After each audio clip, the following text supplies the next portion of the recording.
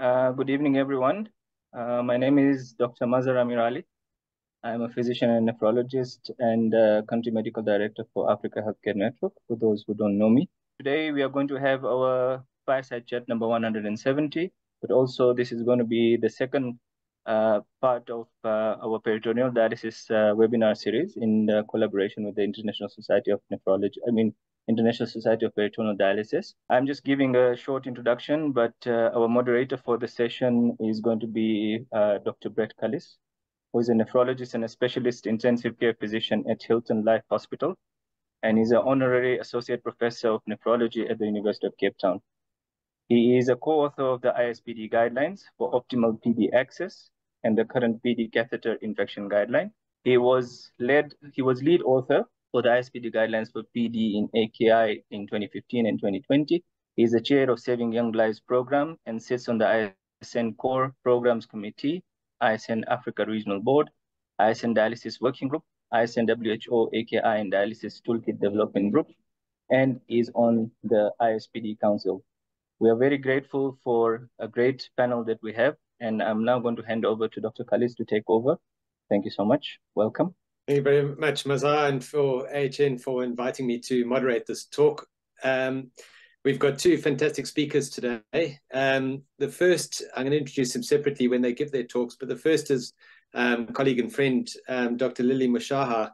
Um, Dr. Mushahar is the head of um, head consultant nephrologist at the Department of Nephrology at the Tuanku Jafar Seremban Hospital in Malaysia but also head of clinical research center Negeri Sembilan. She trained in Malaysia, um, but also um, did fellowship at the North Staffordshire Hospital at Stoke-on-Trent, and many of us know this is the the, the holy grail of of PD education.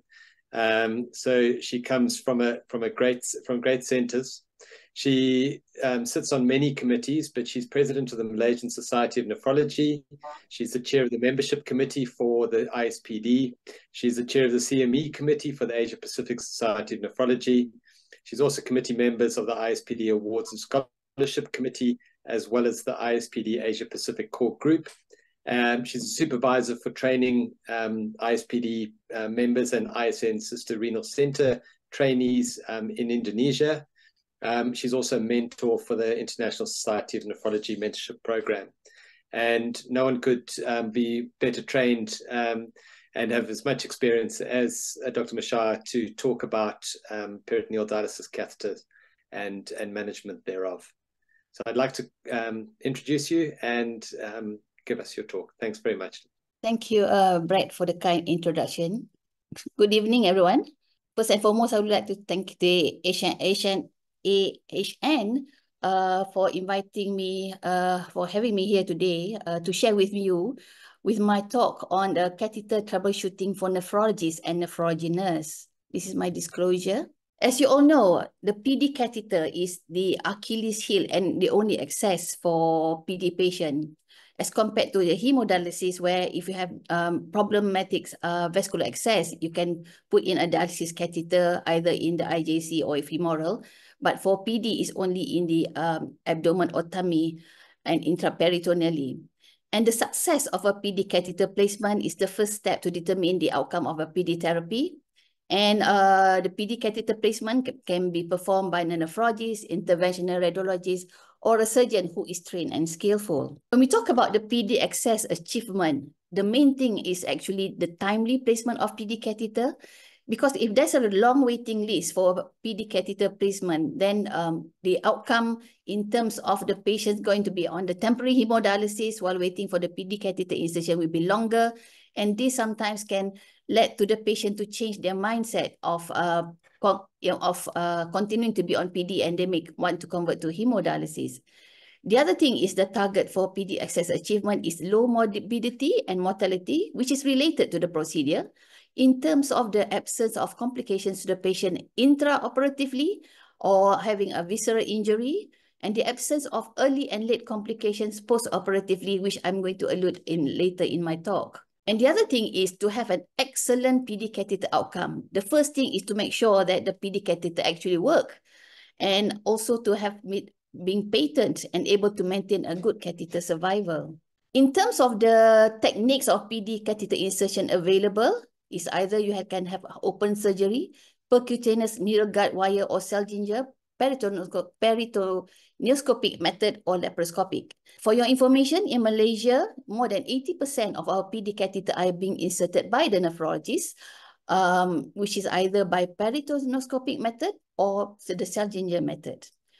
Uh, however, there are certain uh, cases of patients that we tend to refer to the surgeon, uh, especially the complicated ones, if that we anticipate um, hernia uh, or um, repair. And another thing is if the patient has a very pendulous abdomen and it's going to be a challenging PD catheter insertion when we insert percutaneously. When we talk about complication of PD catheter, we need to know is can it be either mechanical or it can be also and also uh, can be due to uh, infectious cause, uh, condition. And um, in terms of mechanical, like I mentioned just now, uh, it should can it has to be make to make sure we have to make sure that the PD catheter is patent. So therefore, the flow must be uh, good in terms of uh, absence of flow dysfunction and also leakage issue. And the other uh, complication of PD catheter is infectious. When we define the PD catheter complications, it can be either early complications or late complication. And the, the definition of early complications when the uh, is defined as early as less than 30 days after the PD catheter placement, where uh, as the, usually it can be bleeding, perforation, uh, pericatheter leaks, or catheter obstruction and infection. Whereas late complications uh, is defined where the onset is more than 30 days after the PD catheter placement. So let's go what are the possible troubleshooting by the nephrologist and the uh, nurses um, which is related to the PD catheter complication. The first thing is bleeding. Whenever we see uh, intraoperatively, when we insert a PD catheter, you can, uh, if you notice that a, a blood stain PD solution or drainage, then we have to think of whether it is evidence of due to vascular injury. And the incidence of vascular injury intraoperatively is about 0 to 7.5%. It has been reported and mainly is either because of anticoagulation uh, treatment which not has, has not been withheld prior to the surgery. And the other thing, um, complication to vascular injury, which is more severe, is the inferior epigastric artery injury.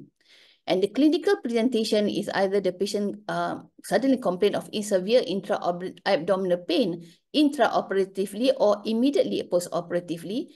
And you will notice that hemodynamically that the patient are uh, unstable and they develop hypotension. And when you drain uh, the PD fluid intraoperatively, you will notice that the, either the patient will have a um, slight blood stain or heavily blood stain PD drainage. And how will you manage this inferior epigastric artery injury? The first thing is you need to refer to the surgeon because the nephrologist, if, if, if the PD catheter procedure insertion is being done by the nephrologist, we need a surgeon backup. And we need to refer to surgeon immediately in the OT and the surgeon um, is either can ligate if noted intraoperatively, intraoperatively there's an injury to the inferior epigastric artery or if post-operatively being discovered there's a bleeding um, intraperitoneum, then we can refer to the surgeon. Either they can do surgical versus angiographic embolization if discovered post-operatively. As you can see from this angiogram, which reveal the extravasation from inferior epigastric artery after uh, and after embolization. Therefore, in, to prevent when you perform a PD catheter insertion, how should we avoid the infraepigastric artery injury? And the choice of the site, it actually is operator dependent. Some will decide on whether they want to have a midline two centimeter inferior to the umbilicus, and uh, we can infiltrate uh, the local uh, analgesic into the rectus sheath to use a varus needle or a local LA needle to check for any flashback um, due to underlying blood vessels injury. And the other thing is what I tend to do, the nephrologists uh, here in Malaysia, uh, majority of us are doing a paramedian incision, which is a 2 cm lateral to the uh, uh, paraumbilical area. The second complication, the troubleshooting is if you notice there's a fecal matter in the PD dialysate. And this usually occur, uh, the injury is perforating the bowel of viscous, which is about 1%, and usually occur when we advance the catheter into the pelvis. As you, uh, maybe, uh, I'm not sure uh, how, because if the surgeon, is there's a direct uh, view, but when we do a peritoneoscopy or Seldinger method, we uh, might injure when we advance the uh, catheter or the needle. And um, sometimes you can see the visualize the bowel content and the dialysate fluid, which is the PD uh, fecal matter, or you can smell a foul smelling gas intra in the OT. So that is a, a clue that you might injure a, a viscous. The other uh, perforation that they tend we tend to uh, occur uh, is the urinary bladder injury. And this, uh, when this will you will notice that when there's an increase in urine volume, where the patient feels that the bladder is distended, and uh, immediately after installation of the dialysate, and the, when the patient pee or passing urine, you will notice that it looks like a PD dialysate coming out. And the management of this when there's a the bladder perforation is actually to, to refer to the surgeon immediately. Another thing of uh, we have uh, um, anticipate the complication of PD catheter insertion is pericatheter bleeding and hematoma. And this is actually can happen uh, as an early complication immediately post-operatively. From this photo, you can see that there is uh, either uh, pericatheter bleeding, which is oozing, and the more uh, serious one as uh, at the right hand picture is where there's blood clots, where despite compressing um, with uh, pressure, the bleeding would not stop. And this either because of the tunneling where it might hit some uh, blood vessels subcutaneously and uh, at the exit site. And the blood may present initially uh, when you drain the PD catheter and also uh, the, the, due to the trauma of the insertion. You need to flush with a uh, the PD catheter until the dialysis is clear. However, if continuous flushing does not resolve, then you need, may need to refer to the surgeon to get their assistance in identifying where is the source of bleeding. If it's a very minimal pericatheter bleeding, then the first thing that you should do is giving an adrenaline pack with manual compression. And the point of compression must be exactly at the place where you think the bleeder is, is either sometimes an injury at the blood vessel at the exit site or along the tunnel. And if this just a very minor bleeding uh, subcutaneously, but just by doing a manual pressure, it can stop the persistent bleeding. Please do not add additional suture. You should not suture at the exit site to stop the bleeding because this can cause uh, introduced infection and you need to check the hemoglobin and correct the patient's anemia. If there's significant bleeding, you may need to uh, have a uh, have a, a blood transfusion done if the hemoglobin drop significantly less than 8 gram per deciliter. So like I mentioned just now, so this is a photo where someone has actually uh, did an additional suture which is quite tight and uh, this actually can introduce infection uh, at the exit site uh, in the future. The fourth troubleshooting is when the PD catheter does not work and it is not patent. And this is due to the PD catheter obstruction. So the PD catheter obstruction can be either inflow obstruction, outflow obstruction, or it can be both. When there is an inflow, inflow obstruction, it is due to a mechanical blockage where during the PD catheter placement, the operator um, actually uh, create a kink in the subcutaneous tunneling and this actually can occlude the segment under the dressing and cause inflow obstruction. Another thing of uh, um, reason when there's inflow obstruction where intraluminally of the PD catheter, there's blood clot or debris or fibrin. And fibrin or debris usually occurs with uh, when there's ongoing infection, but the the thing that we can do is we still we can't flush the inflow obstruction then we should do a perform an abdominal x-ray to see whether there's any anatomy abnormality of the pd catheter being done. When there is outflow obstruction it is actually can be due to a mechanical blockage of the transfer set or the catheter or also it can be due to the post implantation blood clot or fibrin When we perform a Seldinger or peritoneoscopic method, usually it's uh, bloodless. There's very minimal bleeding. However, if it's uh, a traumatic PD catheter insertion, the blood clots actually can cause obstruction intraluminally and the inflow and outflow will be uh, not uh, have you have a problem when you flush.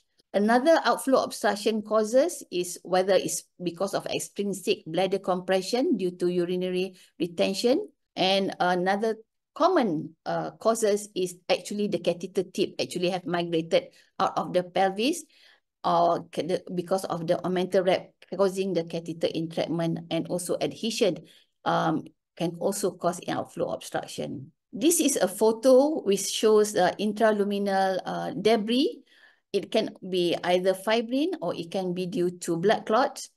And the fill and drain, uh, the debris actually, you can actually flush with irrigation and saline. And uh, some operator, they use wires uh, where they under fluoroscopic guidance, where they insert the uh, guide wire in through intraluminally to dislodge this debris. The other thing is how we should manage of slow fill or slow drain. Where there is no uh, obstruction, you can still flush the PD catheter, but the drain is quite slow. And um, if you want to define how, what do you mean by slow fill and slow drain? Usually when you fill in a, a PD uh, solution intraperitoneally, the ideal time of the flow rate to empty the two liter bag is about 10 to 15 minutes it, that means that there's no problems with the fill.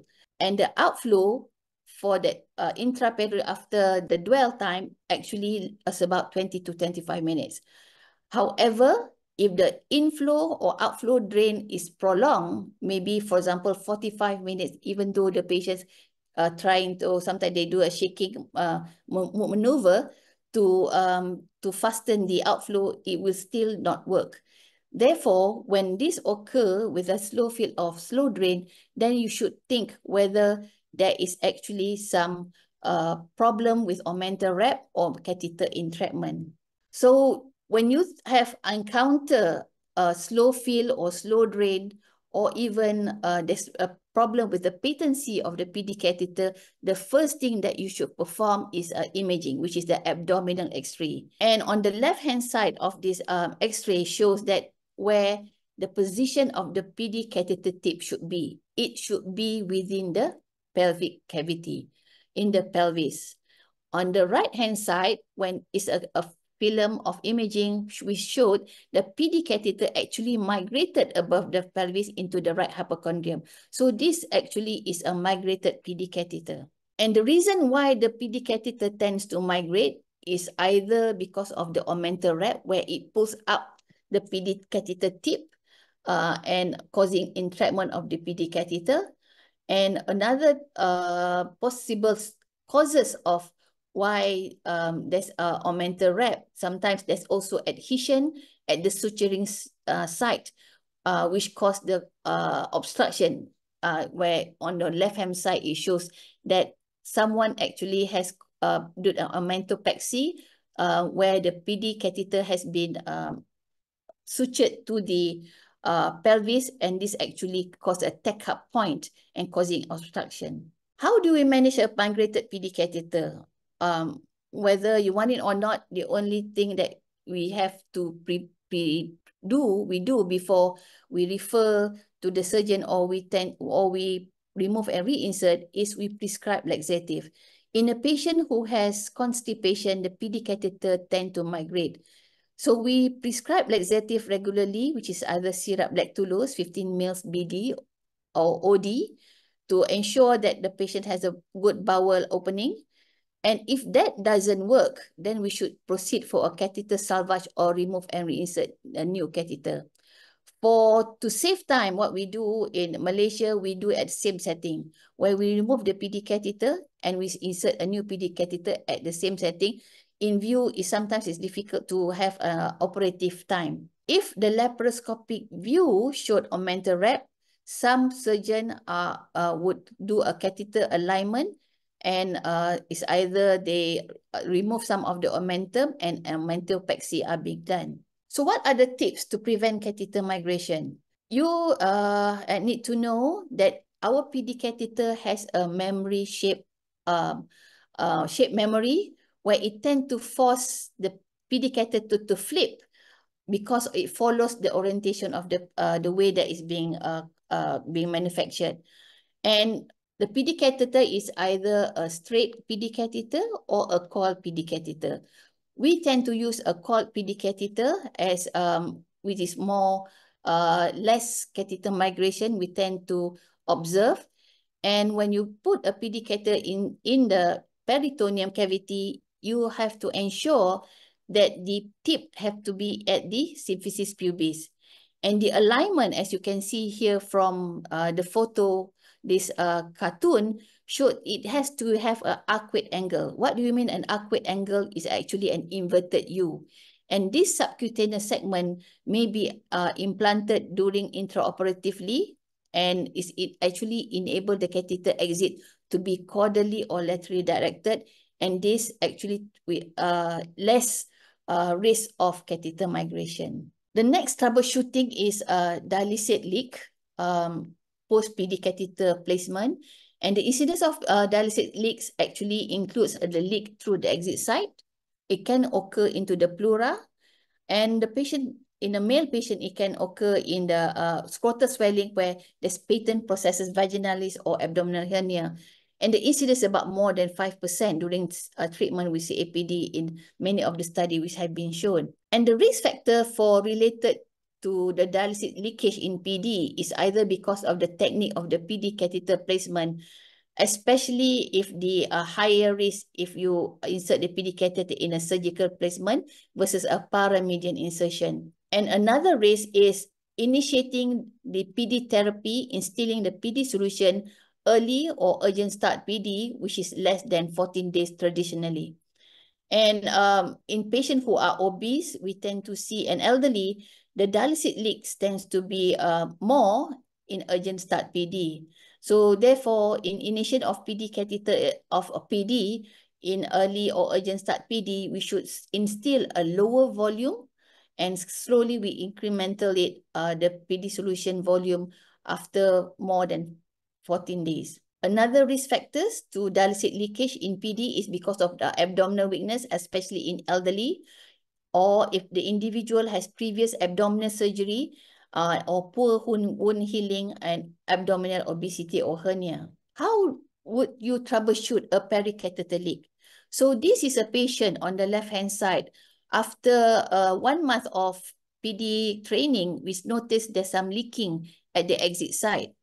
And to verify whether this is actually a, a PD pericatheter from the leak from the PD solution, how you should verify is to use a glucose test strip, where you put a glucose test strip at the uh, leak and the blood sugar shows 19, whereas the patient's uh, blood sugar maybe is, uh, when you do a finger prick, is about 6 or 10.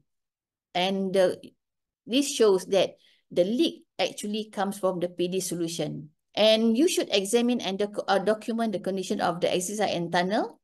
You can apply uh, um, alternate dressing and also to accommodate the increased fluid to uh, increased fluid drainage. And again, similarly to a bleeding of the, the pericatheter, do not suture at the exit site. The exit site uh, should be free of suture. In view, you can introduce at the exit site infection, as you can see here on the left hand uh, photo, um, there's some inflammation at the exit site and there's someone had actually sutured at the exit site. So again, for pericatheter leak, uh, do not suture and we should uh, rest the abdomen um, in terms of uh, to heal the leak. Sometimes the rectus muscle, especially in, in elderly, when you implant the internal cuff, it will not heal well. So we have to delay the PD training and uh, instilling the PD solution. This is another uh, troubleshoot that when the patient is on PD uh, therapy, you can see some halo or subcutaneous swelling in the uh, in the abdomen. And this is actually is a result of a pericatheter leak at the insertion of in the, uh, internal cuff, internal cuff or dissection of the dialysis into the abdominal wall. So you should examine the scrotal area penile or labial swelling because the leak can actually extend to this region.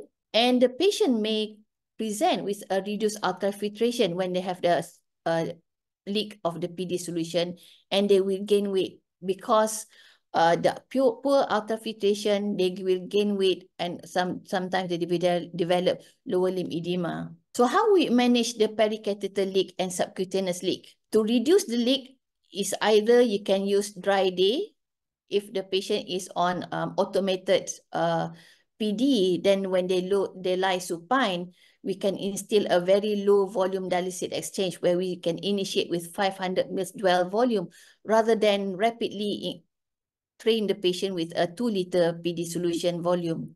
To keep the dry day also, we can temporarily suspension the PD for 4 to 6 weeks. So the patient, patient may need uh, a rest of the PD therapy for at least uh, 4 to 6 weeks and uh, we may need on hemodialysis. The other thing is we need to delay the PD training uh, if the patient is not anuric and may require temporary HD. However, if the patient still has urine output, we may not require the patient to be on temporary HD, but advise the patient to control their PD, uh, to control their fluid intake.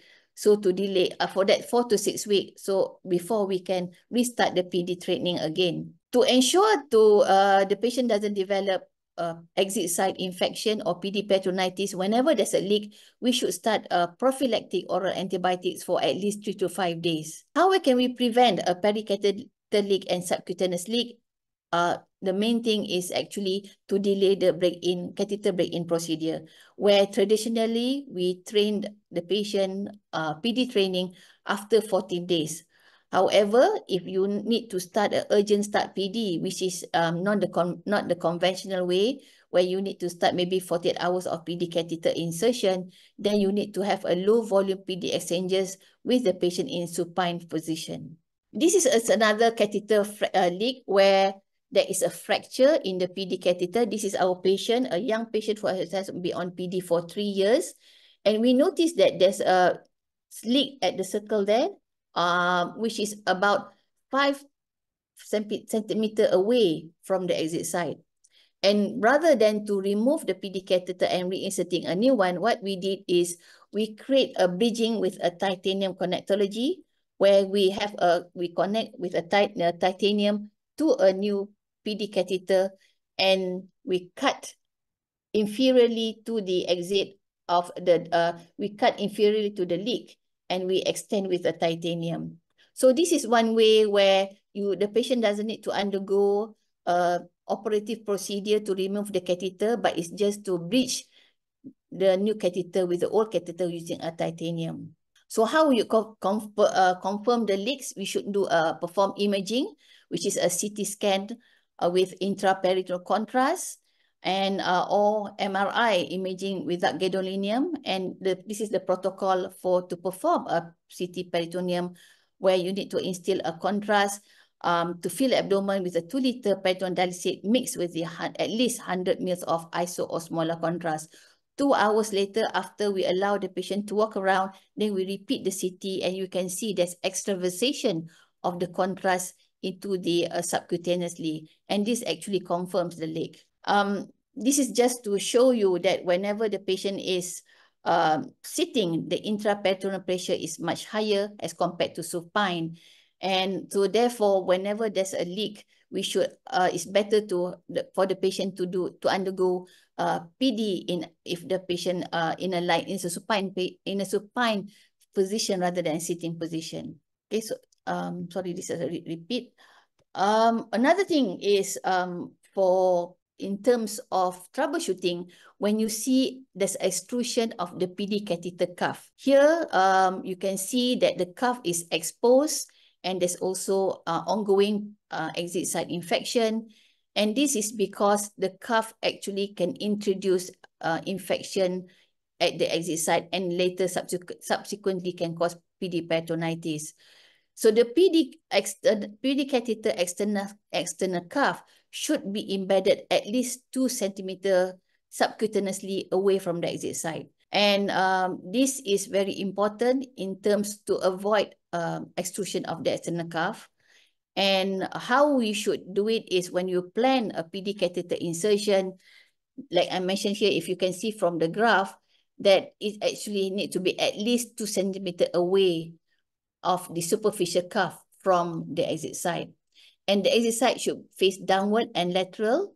And uh, this is to avoid um, from dust or sweat to accumulate at the exit site to uh, lead a risk or high risk of exit site infection. How you will you manage? If you see there's a external cuff extrusion, you have to cauterize the ex excised skin to expose the distal cuff and you debride or the cuff away or we call it um, shaving of uh, the um, external cuff. So here you can see that external cuff actually has been shaved and um, exposed. From the ISPD catheter insertion uh, guideline um, in 2023, that it has been shown that the proportion of PD catheter insertion related infection is should be less than 5%. So therefore, we have to take precaution and prophy prophylactically providing or giving the patient antibiotics to prevent catheter infection. And this is especially um, in patients who have um, extra um, uh, break-in catheter. So this is a patient who has an exit site infection and uh, whenever a nephrologist or the, the PD nurse see this uh, exit site infection, you can see there's also a granuloma. And to manage an exit site, we have to take an exit swab CNS and most the most because in view the most common organism is Staph aureus and Pseudomonas, so we have to treat with antibiotics uh, appropriately. And for the granuloma, we can use uh, cauterization using um, uh, self um, uh, magnesium silicate to um, look put at the granuloma area. And this is just to show you how to prevent exit site infection where the proper way is to face downwards and laterally and not upwards or caudally. And this is one way of uh, how to prevent exit site infection uh, in terms of dressing. Um, where we can either do a topical, oh, sorry, it is compulsory that we should apply a topical mupirocin or gentamicin ointment application at the exit site. Depends on the microgram of microbiome of your PD center or what are the common uh, causative organism. And the other thing is in uh, we should put uh, apply um, also uh, dressing at the area and also uh, immobilization of the PD catheter to avoid mechanical stress. Some centers, we do uh, perform non-dressing of exit site, especially in um, countries where it's humid and that the PD catheter uh, dressing may be soiled. So we do perform uh, non-dressing of exit site after three months of PD catheter insertion once the PD catheter exit site actually um, has healed well. And this actually has been shown has reduced our lower risk of exit site infection. A novel way of technique whenever there's an exit site infection to pre, uh, to avoid catheter removal is catheter splicing. So I think um, maybe you, this is quite a complicated uh, diagram, but just to summarize that um, how we what do we mean by splicing is to um, remove or relocate the exit site in a new in new area opposite um, the abdomen. For example, if your exit site eh, um, uh, existing exit site is on the left uh, um, abdominal region and the patient had exit infection, we can actually relocate and perform a catheter splicing to reposition the exit site on the opposite area using a titanium extender. And from this uh, method, actually, Fukasawa, um, who have performed at least 22 patients of uh, who had undergoing exit site, actually it um, reduced, uh, uh, did not recur of the exit site when they re relocate the exit site. Another way of um, uh, paper which Kirmizis also showed that from, from the result of uh, relocation of the exit site, 74% of exit site actually resolved However, 26% of the catheter need to remove be removed due to recurrent exit infection. The next one is tunnel infection. If you can see from this photo, if you notice, notice there's a bulging area at the tunnel and inflame And this is because of the presence of inflammation or ultrasound ultrasonographic evidence of collection along the catheter tunnel. And if you notice this, the best way is actually to treat with antibiotics and to remove the PD catheter. But if the PD catheter is a precious PD catheter and you another way is either you can also do a deroofing. Um, the photo from this on the left hand side showed that being done um, to avoid removing the PD catheter and you can see that the um, internal cuff or uh, sorry the external cuff has been exposed and the, the patient has to go undergoing uh, regular dressing until the granulation tissue has well healed. And subsequently, um, you can do a secondary suturing or if the granulation heals very well, it can also the patient actually can be avo can avoid undergoing secondary suturing. So in conclusion, um, PD catheter complication is an important factor that contribute to patient morbidity and technique failure. So there's many, uh, you can see that there's a lot of PD catheter uh, complication that you tend to see post-operatively is either immediate or late, which is defined by less than 30 days or more than 30 days. So therefore, troubleshooting by identifying and preventing and managing optimally the PD catheter in, infect complication is crucial uh, in terms of uh, to have uh, to ensure that the patient PD catheter survival um, is good and have a better outcome in your uh, PD center. So with that, I thank you. Uh, before I end, I would just like to highlight that um, in 2025, Malaysia will be hosting the 11th Asia Pacific chapter of ISPD Congress in Kuala Lumpur uh, on the 3rd to 6th September. So I welcome all of you to join us in this Congress. Thank you. Thank you very much, Dr. Mushahar. That was a fantastic talk. Um, and what you highlighted is that although there are a number of complications of PD catheters, there's also uh, an answer to every one of them. Um, and we can salvage most of these patients. They don't need to move on to hemodialysis just because they've got a complication. Um, I just want to invite everyone, there's a Q&A um, box if you'd like to submit questions. Dr. Mushahar, it is half past 12 midnight for you and or quarter to one. So we won't keep you too long, but there are a few questions, if you don't mind, um, yeah. just us asking. The first thing I, I, I just want to say, ask from my perspective, you know, in Malaysia, you've got you've got good evidence of improvement in numbers of patients going onto PD when your nephrologist started inserting PD catheters. And what advice would you give to doctors in Africa who are wanting to set up centers as nephrologists? Uh, you know, how do you how do you convince people that that you should be allowed to to put the PD catheters in because certainly that's probably the only way that we're going to expand PD. Okay, uh, thank you, Brad. Um, I think it was in year 20, 2004 that um, I was one of the pioneer in Malaysia to insert the PD catheter by the nephrologist. And um, we inserted uh, the PD catheter during that time using the peritoneoscopic. So we bought a peritoneoscopic uh, set.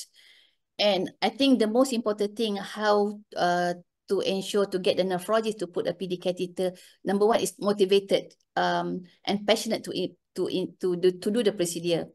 Um, not all everyone likes to do procedure. Um, so it has you have to select someone who really are passionate to do it.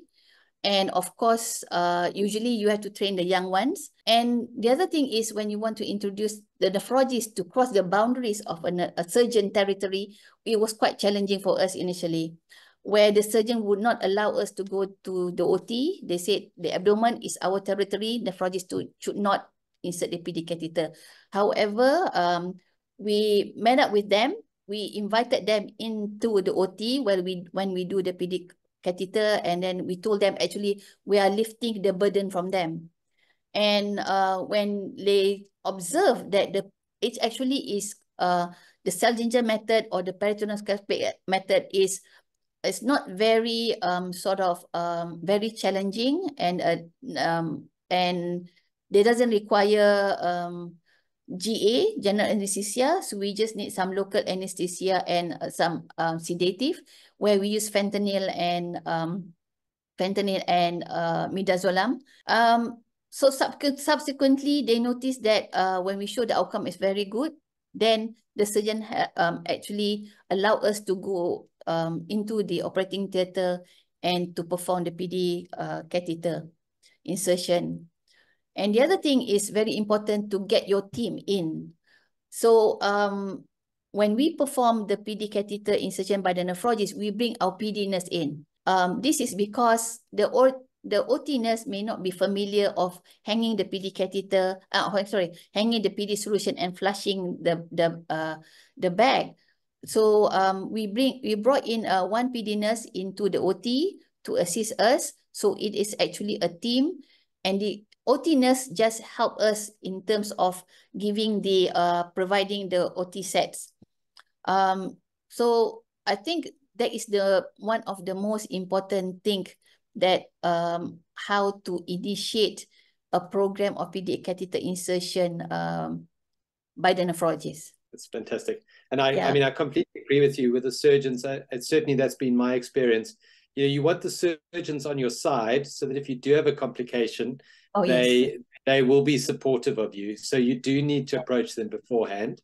Yes. Um, but as you said, what you're trying to what the the way uh, to convince them is actually to say, look, you're going to take the easy cases and leave mm. leave them to do the stuff that surgeons do. You know, they they they feel like you you're actually relieving them of work, um, and I think that's really helpful.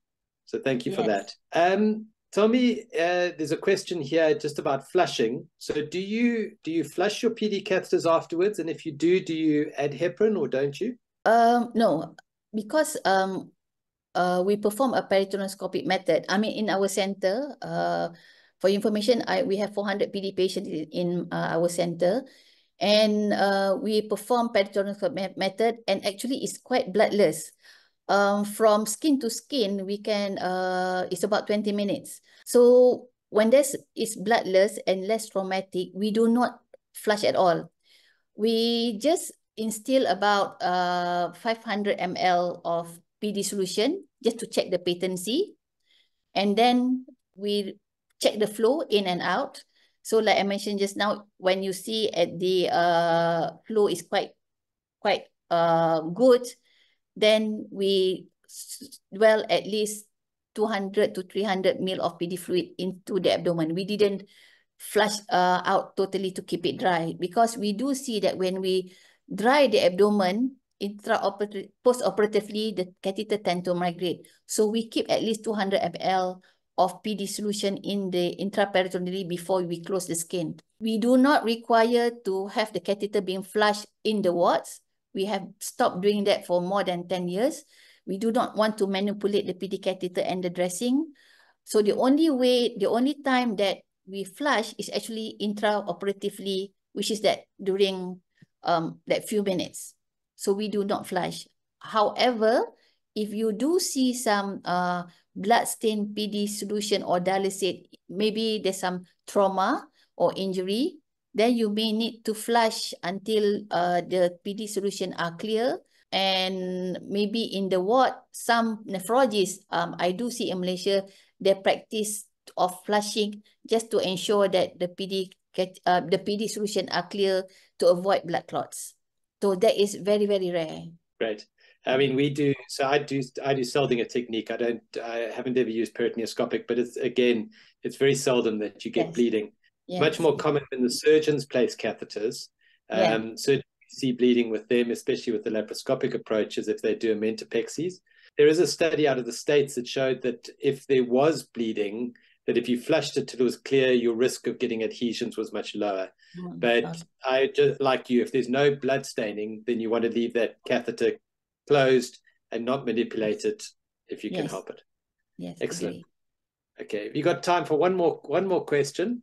Um, so uh, well, there's, there's, two of these questions I think we will keep to the end because they probably are going to be answered by Dr. Shah. So um, I'll hang on to those. Um, the one question was, if you've got fibrin stuck in your catheter, what can you use to dissolve it? when you see a fibrin in the in intraluminally or um, when the patients are doing performing the PD PD exchange, uh, we uh we refer to our PD nurse. Actually, the PD nurse will do um flushing with a heparin saline. So they instill the um, heparin into about 550 cc of syringe and they flush the PD catheter. We have stopped using um, streptokinase because I had a very bad experience where some uh, nephrologists where they flush with streptokinase and it causes uh, peritoneal bleeding, intraperitoneal bleeding, and that will cause adhesion, like you mentioned just now. Whenever there's bleeding intraperitoneally, actually it will promote adhesions. So we do not flush our catheters uh, whenever there's clot or, fi or fibrin with streptokinase, but we only flush with heparin saline.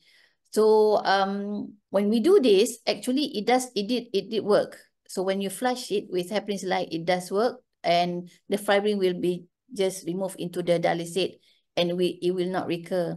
So I'm not sure, but, uh, Brad, how you um manage this. That's how we did it in in, in our center. Yeah, so we I mean we do the same. I I do tend to use um alteplase, but as you say, it's not flushing it. It's you wanting to lock that line. So you, it's a very we use a very slow injection um, mm. of eight of alteplase.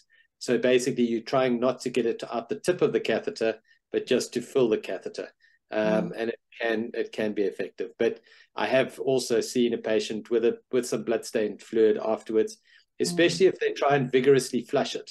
So you oh. flush it, you suck. Um, yeah. I have bleeding with that, so I agree with you there. And a last question, just in terms of resting, because it's it's always a question people have. You know, can you use a PD catheter immediately or can't you? So, what are you going to do in a patient with acute kidney injury? So, what are your tips for how you can how you can manage a patient who is starting urgently or acute PD? Okay. Um. So we have we in our center we do perform urgent start PD, especially in patient with vascular uh access uh, exhausted vascular access and very challenging. They have um, we can't put any more hemodialysis catheters in. So the urgent start PD that we use um, where we use immediately even uh, 24 hours post-operatively and we have a regime where we uh, perform the urgent start PD in terms that the patient lies supine uh, most of the time. Uh, um, during the PD exchange. And we instill very small volume of uh, dual volume where we start with 500 ml first. And slowly by the second day or third day we increase to 800 and 1 liter. And by the one week only we go beyond 1 liter to 2 liters and uh, we try to avoid uh, patient we tell the patient to avoid from coughing or straining um, so for to avoid constipation, we give regular lactulose. And um, in um, some uh, area, uh, some hospital where APD is available, we put the patient on cycler. Uh, where most of the patient, uh, most of the time, the patient will be supine to reduce uh, intra-abdominal uh, pressure. But in centers where a cycler is not available, you can continue with a CAPD but a very low volume. We did an audit when we did uh, urgent start PD um, in our center. It was about 20 patients and we noticed a pericatheter leak was higher in elderly and uh, and another another risk factor is in a patient with a high BMI of more than 30. So the lean one, uh, there were no leaks, but those are the two uh, risk factor when when they develop pericatheter uh, leak. So the issue of urgent start PD is mainly the leaks. I mean, in terms of acute kidney injury, I mean, we with the ISPD guidelines, we actually recommended up to two liters, although um, in your patients there would be about 1.5 liters. But yeah. the as you know, as you say, we we always say that they should be supine if possible, mm. not getting up if they if right. abdomen. You showed those slides. Um, looking at abdominal pressure. Um, we, uh, you did talk about pericatheter leaks with a midline incision, um, mm. and that is taught a lot, but uh, certainly that is the case with surgically placed catheters where you're making incision in the midline. With the yeah. Seldinger technique, we see it very seldom that they get a leak around that. I think yeah. because you dilate along the, you know, through that that linea alba. So um, people mustn't be put off using the midline if they are doing a Seldinger technique, um, but avoid it if you're doing it surgically. Um, yes. But yeah, you have got a you've got an amazing program, um, and thank you so much for all of your insights. Um, it's it's a huge inspiration to to everyone here in Africa. You know, we, we're so excited about getting PD going. Um, yeah. Very much in the infancy, and so um, knowing that you've started a program and built it up to what you have is is amazing. So thank you very much yeah. um, for coming to talk to us. Thank you very much. So I can I'd like like to introduce um, Professor Ankur Shah, who's an associate professor of medicine um, and director of clinical research, um, as well as the associate fellowship program um, at the Warren Alpert School of um, Alpert Medical School, sorry, at Brown University. Um, he also is the director of the DaVita North Providence Peritoneal Dialysis Program, and his expertise is in home dialysis as well as the environmental impacts on kidney disease. He's published widely, um, as well as um, is an editor, uh, associate editor with PDI um, and clinical nephrology, and he's served on editorial boards for most of the large um, uh, nephrology journals, including ASN, uh, JASN, um, KSAP PLOS One. Um, he's also a keen educator and has won a number of awards for his education. He's won the Dean's Excellence Teaching Award, the Department of Medicine Teaching Award, um, the Nephrology Fellowship Teaching Award at Brown University, and is a past winner of the American Society of Nephrology's Innovations in Kidney Education contest. So, um, huge respect for um, Dr. Shah, who not only knows how to treat patients on PD, but as a as an educator and is going to talk to us today on how to write a prescription. So, thank you. Thank you for having me. Thank you for the kind introduction, uh, and also uh, I will say following up that amazing talk is going to be a little difficult, but I will do my best. Uh, so I'm going to talk about prescribing high quality goal directed peritoneal dialysis. And uh, I should preface by saying that I want to provide just as much of why as how. And I am going to move a little bit quick. So uh, here are my disclosures. And I want to start by giving some of the sources that I use as kind of my guiding documents. And I use the ISPD guidelines for prescribing high quality goal directed peritoneal dialysis to really help guide what I do. And in fact, I just want to share the ISPD guidelines really are my guiding documents across the board. I strongly recommend anytime you have a question related to really anything related to peritoneal dialysis that the ISPD guidelines are an excellent place to go for guidance. And I also want to share that there was an article published by Edwina Brown and Corbett in 2024 that I think is a really great complement to the ISPD guidelines, and it really goes through their recommendations for delivering person-centered peritoneal dialysis. And we'll go into a lot of what they say here, but I think that the big picture that I first want to start with is the importance of truly a global perspective. And maybe I'll start initially with peritoneal dialysis in general, because I think that a lot of us are familiar with hemodialysis. And so I want to just start with the big picture of peritoneal dialysis. With hemodialysis, you have a blood flow, a semi-permeable membrane, and a dialysate. And we essentially do the same with peritoneal dialysis we take advantage of the fact that you have a natural semi-permeable membrane in your peritoneal membrane, and we add an external fluid, dialysate, into your peritoneal cavity, and then you will have diffusion and convection of solutes.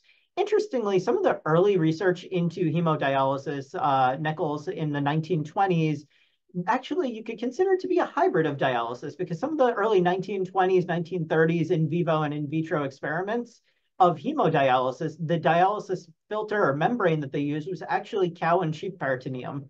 So PD and HD grew together and then eventually grew apart. And so, as I mentioned, the peritoneal line, uh, membrane lines the walls of your abdominal cavity, encases your internal organs, and is a semi-permeable membrane.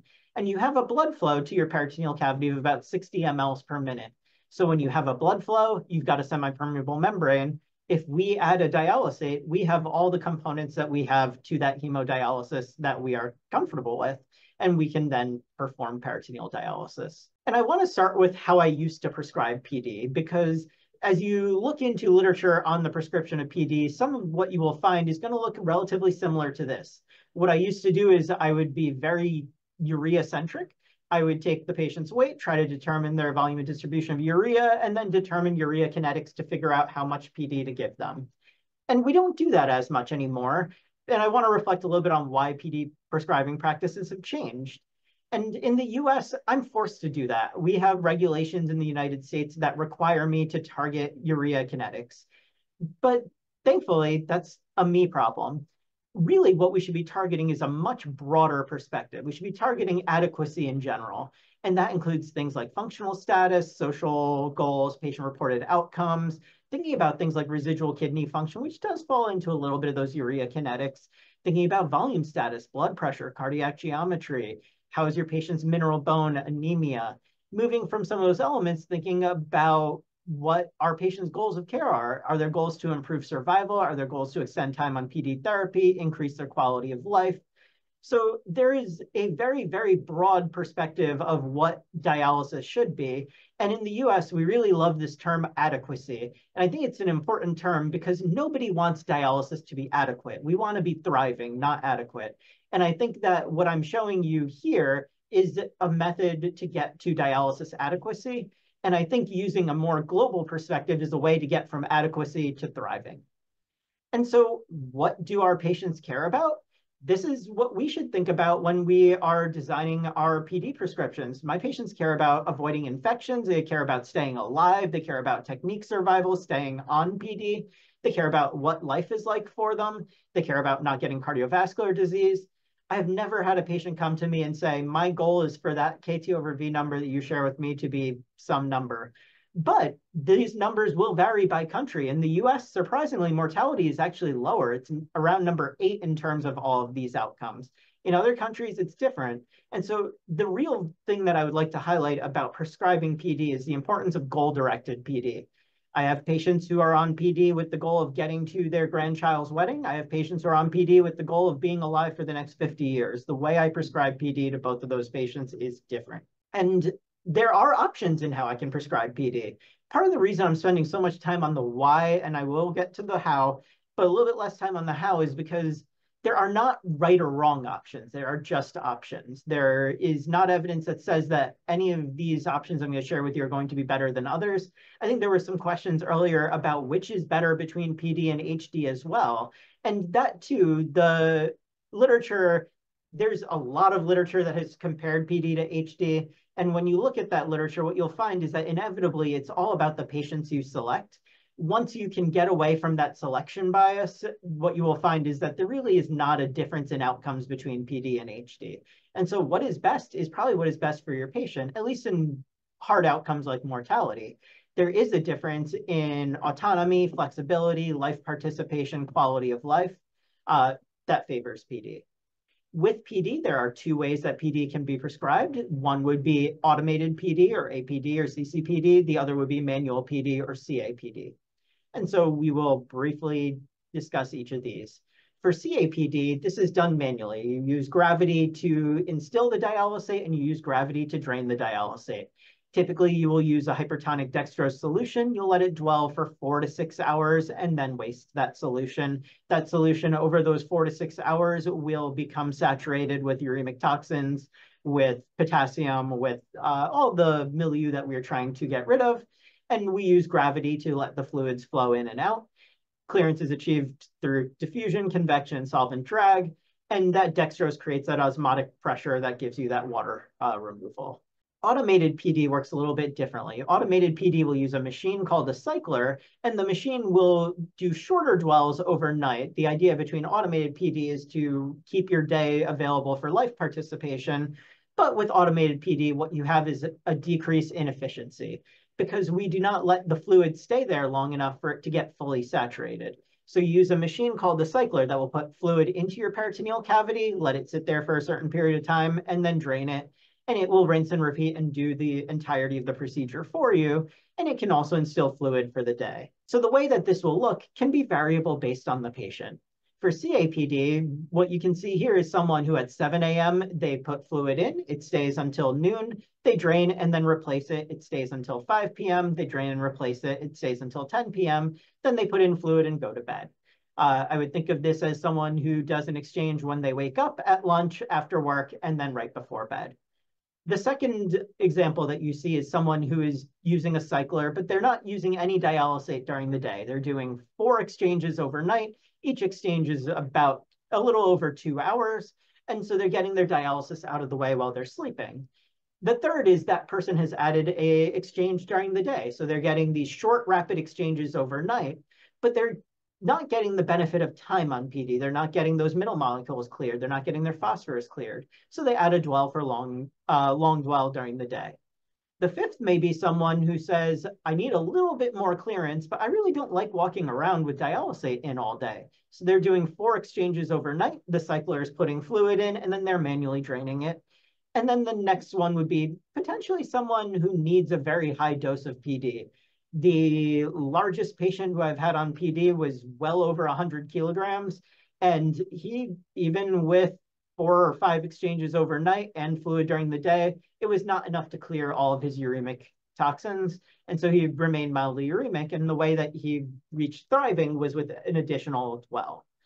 There is something called tidal PD that I'm not going to get into very much, but tidal PD is essentially saying we're not going to fully drain between each exchange because sometimes draining to fully empty can be painful. You do have a catheter in your peritoneal cavity, and if you fully drain, that catheter can irritate your peritoneal organs and viscera.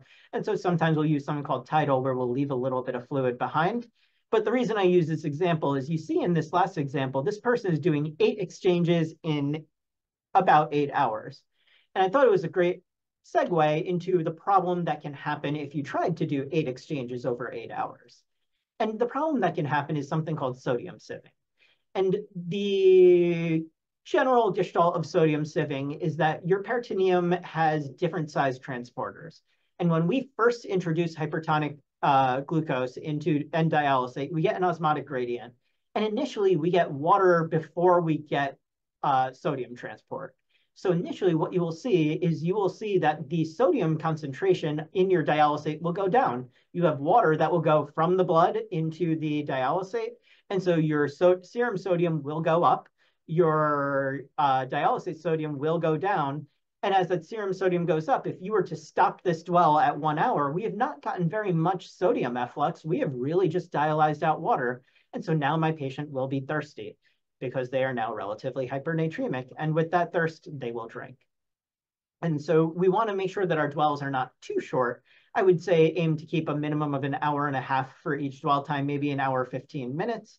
And that will give your patient enough time to equilibrate, have the sodium efflux as well, and not uh, have complications of sodium sieving. I have mentioned earlier APD versus CAPD. I just want to show you a little bit of literature. This was a meta-analysis of 198,000 PD patients that looked in an intention to treat subgroup of the mortality risk between APD and CAPD and showed no difference. And so this would support that you can do what fits best into your patient's lifestyle. One of these is not superior to the other.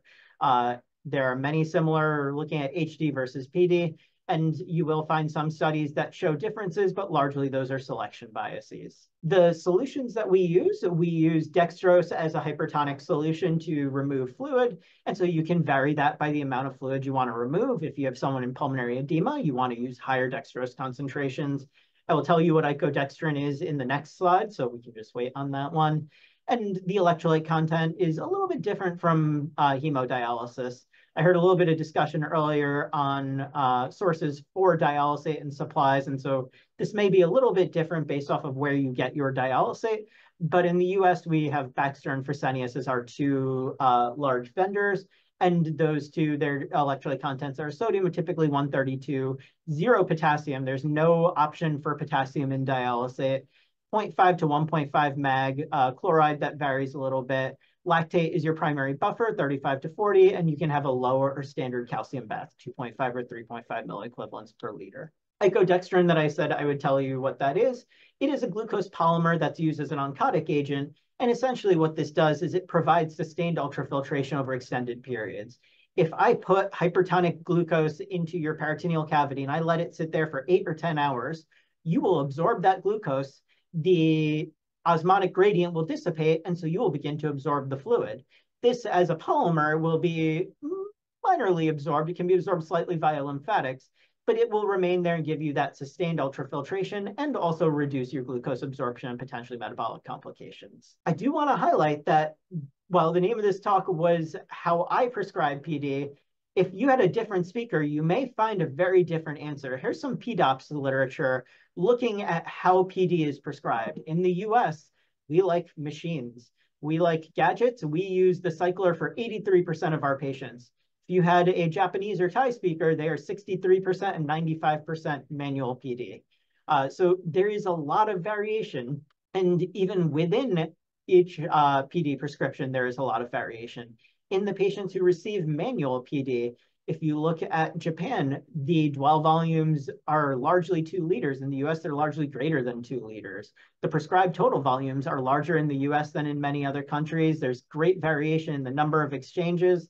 So there are many ways to prescribe PD. I think that if there was one right answer, you would see a lot more homogeneity amongst the data that I'm presenting to you, but you see a lot of heterogeneity. You also see here in terms of cycler prescriptions, again, lots of heterogeneity. Differences in dwell volumes. The US uses much larger dwell volumes than other countries. Uh, the US uses much larger day dwells. The US uses much lower rates of day dwells than some countries. Thailand uses uh, dry days much more than the US does. There's a lot of variation. And this is also showing going into that glucose solutions, the US uses hypertonic solutions much more than other countries. So as a speaker from the US, I may be giving you a bit of a biased perspective. What we do is very different from what many other countries do. And so what you may find is that as PD rolls out that what you do may you may need we may need to add another column here and add more data. And in terms of what we do and how I choose what I do, I start with certain principles. So the first thing I need to do is when starting PD, I need to think about my patient holistically because PD, no matter what I do, it's not going to impact their mortality, but it will impact their life participation. And I can't target life participation if I don't know about life. So I need to know about your lifestyle, your work schedule, your support system. Uh, oh, I need to start moving quicker. Uh, so I'm going to just skip ahead a little bit to how I prescribe PD. So I start with a patient's daily schedule, routine, and goals, and I work backwards. So to give two quick examples, or we'll use one quick example, I'll use a college student. These are things that I tend to ask patients when I'm trying to put together a PD prescription. What is your work schedule? What's your sleep schedule? Who's at home with you? Are they helping? What do you like to do? Do you exercise? Do you have pets? Is travel a thing in your life? Uh, what other comorbid conditions do you have? I don't ask by the way, I consider they're obese, whether they are obese, whether they have residual kidney function, and I ask them about storage space. The variables that you can assign for someone who is doing manual exchanges, the number of days that they're doing dialysis, how many exchanges they're doing and when they're doing them, how much volume they're using, and the solutions. If they're doing automated, you can assign the number of days they're using the cycler, how long they're on it, how many exchanges, how much fluid you're using, and what they're doing during the day. Things to consider, but that I can't assign are residual kidney function. So I'll give an example here of a 22-year-old female. Actually, I'm going to use the next example of the accountant. So this is a 38-year-old gentleman who had stage 5 CKD, hypertension, came in with nausea, vomiting, dizziness, found to have CKD, had no improvements. And so we uh, did CKD education and he was interested in home dialysis. He works as an accountant. Maintaining his work-life balance was extremely important to him. So I just went through all of these with him. What is his work schedule? He works about nine to five, but he works from home. He sleeps 11 to 6. Only sleeping seven hours at night, I wasn't very enthusiastic that the cycler is going to be what makes sense for him. Very strong family care, uh, caregiver support. He doesn't have hobbies that are going to affect PD. He does daily cardio. No pets. Travel is really important to him In terms of comorbidities, he's had two failed transplants, no obesity, uh, plenty of storage space, and his residual kidney function is rapidly declining. So as we tried to put together his PD prescription, the things that stuck out to me were that he works from home. He has some flexibility in what he does. He does not sleep a great amount of time. And so if I asked him to connect to a machine while he's sleeping, I'm not sure I can get all the PD that he will need because I don't think he's going to have his own kidney function for very long. And I don't see a lot else here except for that failed transplant times two. He's not a large gentleman, so I'm a bit worried that I'm not going to be able to use very large dwell volumes because he might start getting overfill symptoms.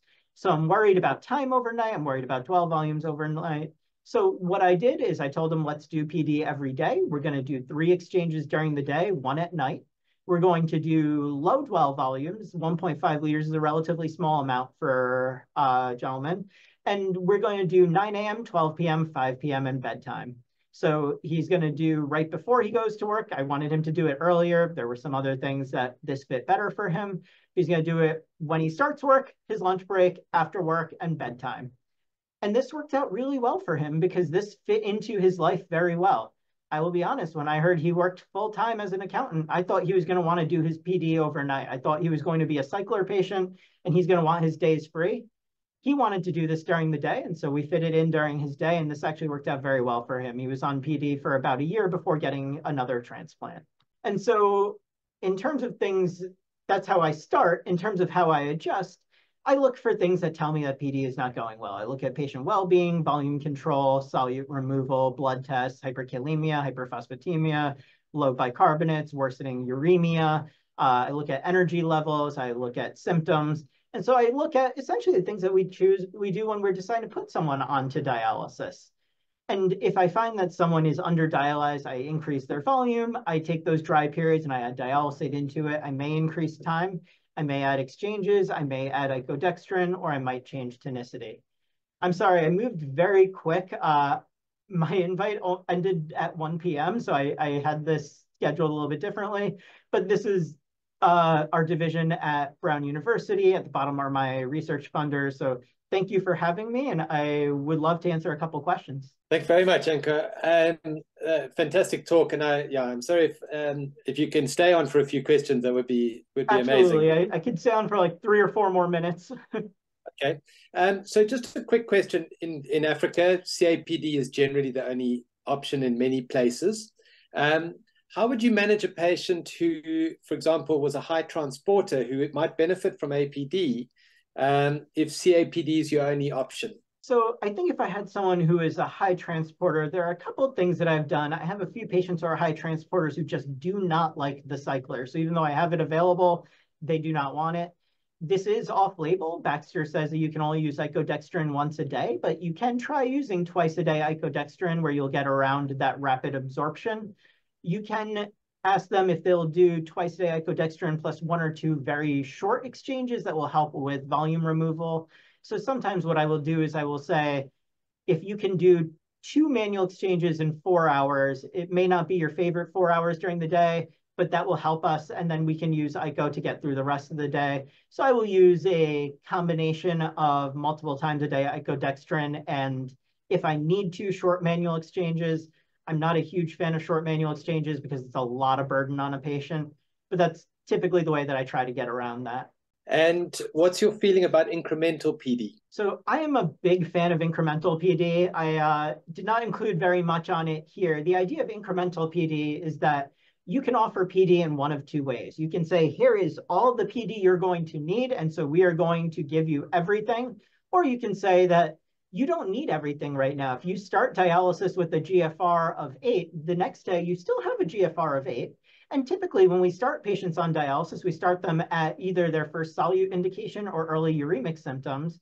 So they do not need a full dose of PD to get back to the quality of life they're looking for. The other example that I was going to use was a patient who I had them doing dialysis five nights a week. I had them using a full prescription for those five nights, but this was a college student. She wanted to be partying with her friends on Friday and Saturday. And so I told her, I'm going to use every ounce of the five days you're going to give me, but you take those two days off and you you enjoy your normal life as a college student as best you can, unfortunately having to do this on dialysis. The one downside to PD or to incremental PD is when you need to make those increments, it can be difficult. And the reason it can be difficult is you need to convince your patient that what they've been doing needs to increase. I find that I try to uh, tell them early what they're going to expect in the future. That works sometimes well. I have sometimes, if I have a patient who I think it's going to be difficult, I do decremental and then incremental. So I start them on full PD for a couple months, then move to an incremental prescription and say, we're, we're probably, we've gotten you out of crisis, we've gotten you out of hyperkalemia, out of hypervolemia. Now we can get you to a more quality of life related prescription, but as you lose your residual, we'll have to go back to what we started with. So I have done kind of decrement, then re-increment. Uh, I think it it's really great for patients. If you do not need more PD, I don't think you need to do more PD. the more PD you do, the more glyco uh, glucose exposure you get, advanced glycosylation end products, peritoneal damage, and also the more burden on you. That's fantastic. Um, I think you know you you've summed it up very much that that prescribing PD is about the patient, not about the numbers. Um, and I think that's that's something that's so important, something that we have to remember that we we're looking after patients. We're not, you know, it's not about numbers. Um, and and thank you for an amazing talk, um, inspiring us all. Um, I, am sorry that we've kept you. oh no, um, this is absolutely my pleasure to be here. Thank you. Thank you so much. So I just I, there are one or two other questions. I'm happy to to just in, in the last five minutes just to, just to try and um, answer some of those. So so one of the questions has been what determines clearance in PD.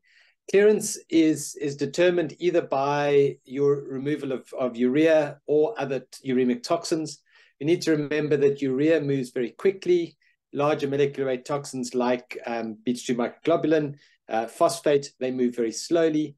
So we need to try and ensure that we actually get clearance of all of those. Residual renal function is very important. Um, it contributes to your clearances. So if you've got good residual renal function, um, your your need for for watching clearances is much lower. But in your anuric patients, measuring a KT over V in a patient that you're not that you're concerned about can be helpful to to say, look, they are getting a decent dose of dialysis. And and and as uh, Ankur said, you know, this KT over V of 1.7, which you can measure in the, um, uh, you can actually measure the urea clearance. Um, that at least is a ballpark, somewhere that you can say, I'm not sure if this patient's getting enough dialysis. Let's measure it. Okay, yeah, we're in the right ballpark. Um, but remember that that KT over V of 1.7 includes your residual renal function. So if they're passing good volumes of urine, you want to measure the residual renal function and urea clearance as well as the peritoneal clearance and add those together. Um, there's a question on, um, or there have been a number of questions on which is better, PD or HD. Um, as Ankur said, there there have been a number of studies that we've they, they've tried to do randomized controlled trials, and the problem is as soon as you randomize patients um, to HD or PD, patients don't want to be told what they're going to do. So there have been a number of trials that have started and have never finished because people choose which modality they want to go onto. There's registry data from many places around the world um, showing that PD and, and, HD are equivalent. There's some studies showing PD is actually better in the first year, um, but it is related to selection bias. What I say to my patients is that the, the, I believe that they're equivalent, and what you must do is choose your dialysis modality on what's going to suit your life. Very much what, what Ankur is saying. You need to look at what's going to suit the patient's life. Um, but in terms of, of the, the dialysis quality, they are both as good as each other. Um, a final question was on advice on fluid improvisation for centers that don't have access to manufactured PD fluid improvisation is difficult for chronic PD. I think you are likely to run into trouble if you're trying to make solutions for a patient doing chronic PD. That may change in the near future. There's the um, the Ellen uh, medical device, which is a, a, a, device where you actually make up your solutions at home um, using a solar panel device, but that probably won't be available for a number of years. So manufacturing fluid for patients doing chronic PD, I would avoid. Having said that, for acute PD, that's a very different story. These patients are only doing dialysis for six or seven days. It's being done in a hospital setting where you can do it in a sterile manner. And if you look at the ISPD guidelines for PD and AKI, there's actually a, a, um, a very nice um, recipe there where you can use glucose and um, Ringer's lactate or Hartmann solution to make a solution very similar to um, commercially produced solutions. And we've got a number of studies out of our Saving Young Lives sites, as well as a study um, from Cape Town showing that peritonitis rates were equivalent um, using improvised solutions. So um, that's a great option. Um, so I think we are up to time at 7.30. so I'm not sure if there are any other questions or if, uh, Mushahar, if you have any, any questions or comments you'd like to make um, before we close this um, webinar, which has been fantastic and fantastic speakers. Thank you, uh, Dr. Cullis. Uh, clearly, it was a very nice presentation. Unfortunately, Our second presenter was pressed for time, um, but hopefully we can get him on some other day uh, to give us a better and more in-depth uh, talk. Uh, thank you very much for moderating this session, and I think it was very informative and fairly basic for a non-nephrologist as well to to understand. Um, so I think it was quite quite great. Uh, Dr. Lloyd, uh, perhaps if you have any closing remarks. Grateful to the ISPD for actually you know, helping us organize this session, not only this, but the previous one as well. Uh, thank you, Dr. Palace, for this uh, wonderful moderation and the questions and, you know, emphasizing on the important uh, aspects of, of the session and the talks and the questions. Uh, we really look forward to your support uh, to help us go through PD here in the region uh, because you're a master in PD in the region and close to us as well. So we really look forward to your support. Thank you very much for being here and and really being here despite of your busy schedule. And you've been traveling and just come back uh, yesterday, uh, I remember. Thank you so much. Thank you very, very much. And thank you, and good luck to all of you setting up your PD programs. It's it's a hard it's a hard job getting yeah. people won over to PD, but it is so rewarding when you when you actually see the benefits to patients and the number of patients who, when you then have to change them over to hemodialysis for whatever reason, um, that you realize just how important it is to them. So um, co congratulations and good luck. Thank you so much, Dr. Cullis. Thank you very, very much.